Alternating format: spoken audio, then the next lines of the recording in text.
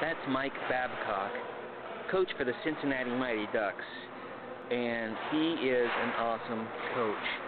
Very inspirational to all of us guys. I'll never forget what he told me my first day as puck boy, and it stuck with me ever since. He said, never get on the ice when we're practicing